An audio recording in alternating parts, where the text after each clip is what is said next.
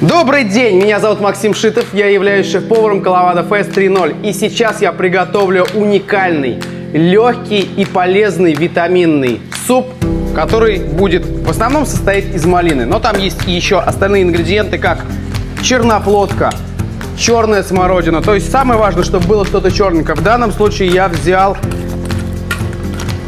чернику, немножечко мяты на украшение внутрь салата, капельку, посмотрите, такого э, наивкуснейшего домашнего творога. Белая жидкость – это кефир. На украшение нам понадобится свежая мята и голубика. Итак, начнем. Нам понадобится чаша блендера, малина.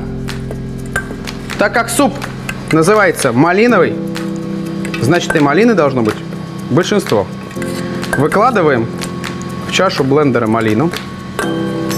Чтобы оттенить весь вкус, добавлю немножечко черной ягодки.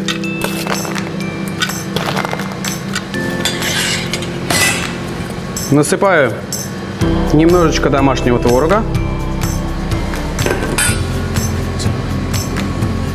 Красивая мята даст холодный привкус нашему супу. А самые красивые верхушки у нас пойдут на украшение супа. Заливаю кефиром, по возможности однопроцентным.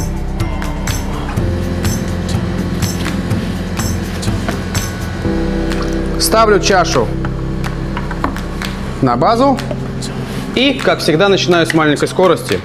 Поехали! Включаем вторую скорость и продолжаем взбивать. 5, 4, 3, 2, 1. Наш суп готов. Наливаем наш суп. Напоминаю, блюдо для двоих. Но ловким движением руки я нашел бокал для красного вина. Почему бы не сделать для моей замечательной милой отдельную порцию?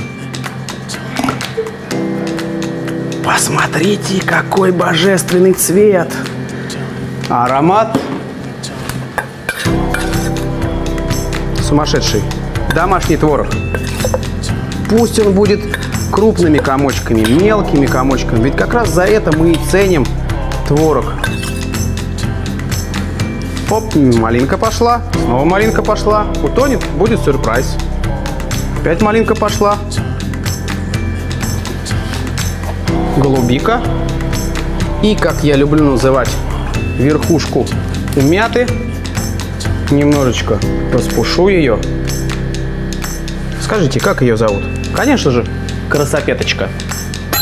Наш суп малиновый готов. Приятного аппетита!